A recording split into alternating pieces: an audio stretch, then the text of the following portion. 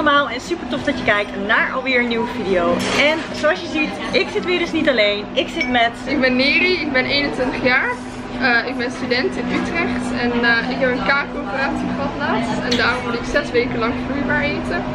En uh, dat heb jij ook geprobeerd. Yes, ja. Ik ging dus één dag vloeibaar eten. En hoe dat me afging, dat gaan jullie nu kijken en daar gaan wij ook naar kijken. In het eetdagboek van probeer ik iedere keer het eetdagboek van verschillende vegans om zo mezelf en jou te laten zien hoe divers vegan eten is. Na het uitvoeren van het eetdagboek bespreek ik deze ook met hen en vraag hen het hemd van het lijf, hoe lang ze vegan zijn en waarom.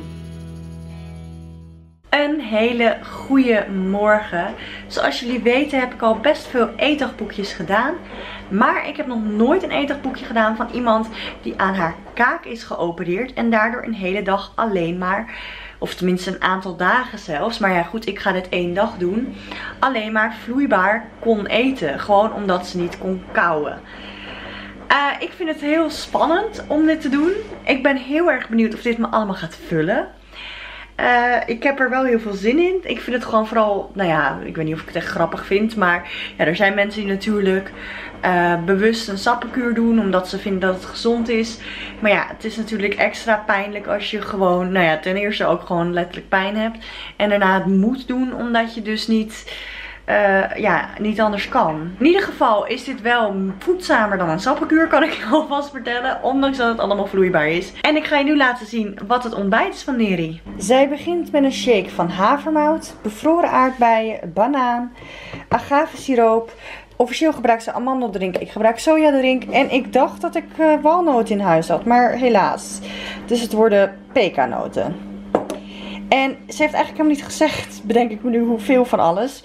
Dus ik doe het maar een beetje op de gok. Dit ga ik dus allemaal blenden tot een smoothie. En verder drinkt ze daar nog bij een uh, sapje van wortel en uh, appel. Ik vond niet die verhouding in de supermarkt, maar ik heb er eentje met mandarijn en wortel gedaan. En ginger en flaxseeds. Ik dacht dit is vast ook heel gezond. En dit is dan mijn shake. Ik heb al wat geproefd en het smaakt letterlijk naar aardbeien milkshake. Vet chill. Maar ik ben natuurlijk ook heel benieuwd naar deze. Wow, gemberig. Heel gemberig. Hij is niet vies, maar ik ga dit wel eerder drinken dan een aardbeien milkshake. Zo, als lunch heeft Neri een champignonsoep. Wat ze maakt van een heel bakje champignons. En een ui en knoflook. En er gaat ook nog bouillon in. Dat heb ik dan weer niet, maar ik zal er gewoon wat kruiden in doen.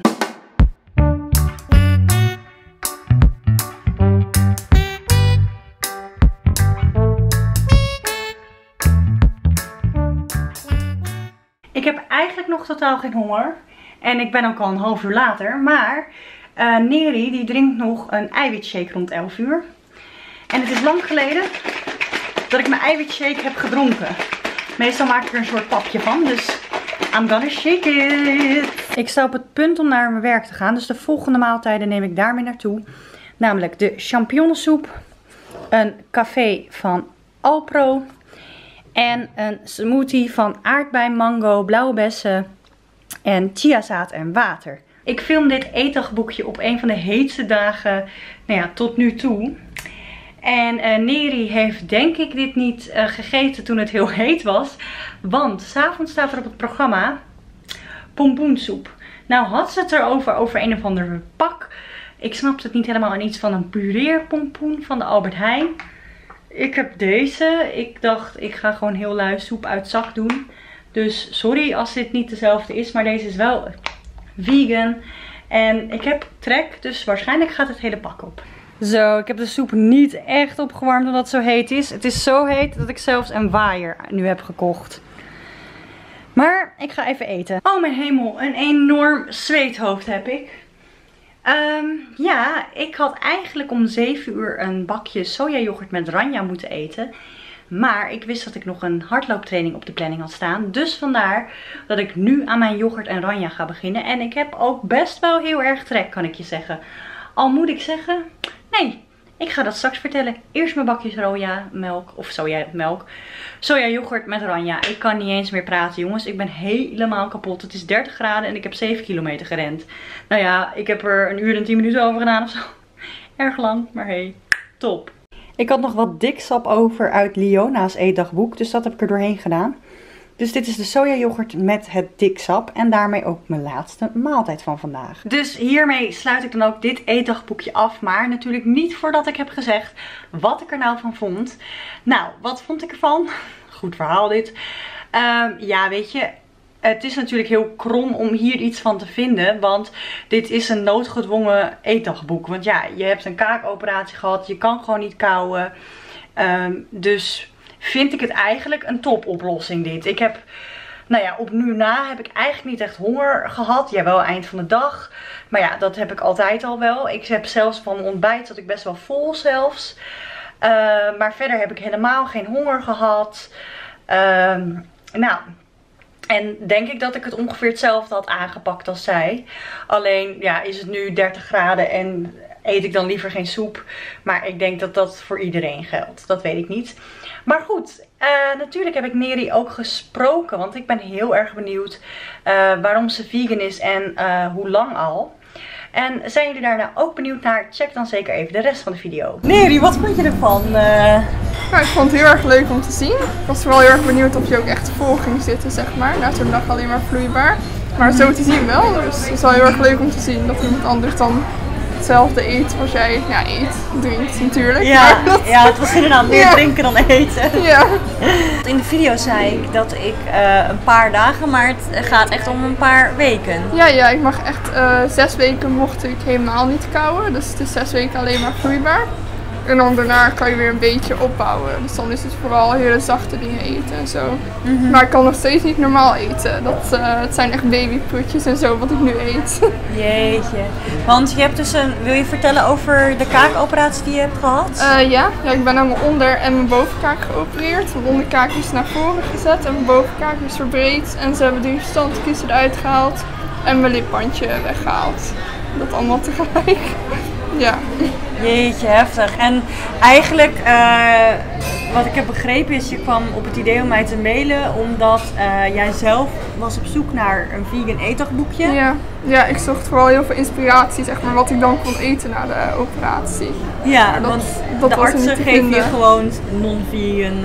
Uh. Ja, klopt. Ja, de artsen die komen met vla en yoghurt, alleen dan niet soja, vla of soja yoghurt aan bed. En die die raden ook gewoon zuivel en zo aan. En dat, uh, dat wil ik natuurlijk niet. Dus ik zocht vooral veel inspiratie naar vegan vloeibaar eten. Maar dat kon ik niet echt vinden. Ik heb zelf ook een blender, een juicer en zo'n uh, staafmixer. En dat uh, zijn wel echt mijn lifesavers geweest ja, deze dat weken. geloof ik.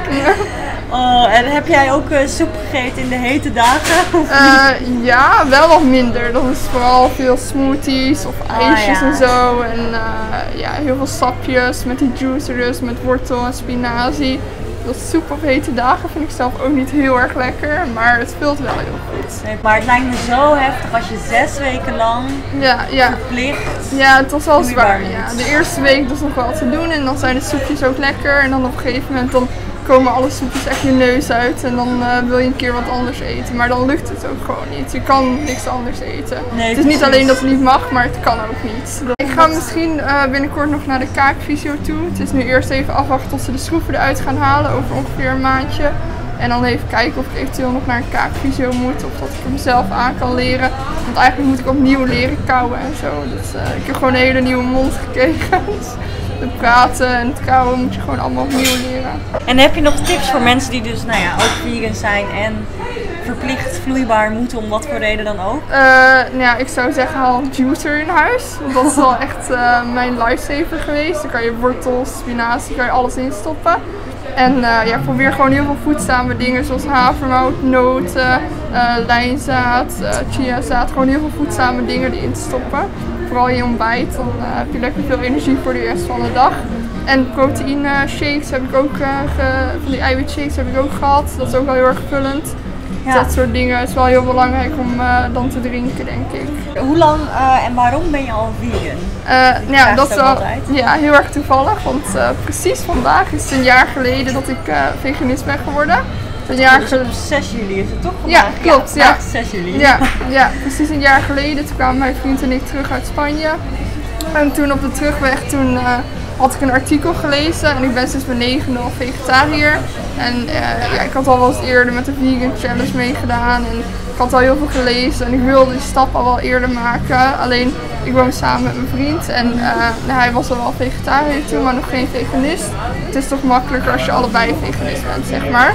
En toen had hij dat artikel ook gelezen en toen zei hij tegen mij, ja, ik wil gewoon helemaal plantaardig eten vanaf nu. Ik hoef het allemaal niet meer helemaal overtuigd en uh, dat is nu Oh, al een jaar geleden. Je hebt een eigen Instagram account, dat heet Don't Shoot the Cow, toch? Ja, klopt. Ja. Ja, ja. En je zei net dat je daar eh, recepten plaatst of hoe? Ja, eh, ja, ik post er eigenlijk gewoon van alles wat ik eet, zeg maar. En dan af en toe hoe ik het maak en eh, ja, gewoon allemaal recepten bij elkaar, zeg maar. Wat ik allemaal eet als een vegan student. Dan wil ik je heel erg bedanken eh, Ja. voor, eh, voor dat ik je eetdagboekje mocht volgen. Ja. En eh, natuurlijk voor dit interview. En ik wil jou heel erg bedanken voor het kijken naar deze video. Hopelijk vond je hem tof. Vergeet dan zeker niet een duimpje omhoog te doen. Vergeet natuurlijk niet te abonneren op mijn kanaal hier beneden. En check ook zeker de recepten van eh, Neri op eh, Don't Shoot the Cow. En eh, dan hoop ik snel weer te zien bij een nieuwe video. Doei doei!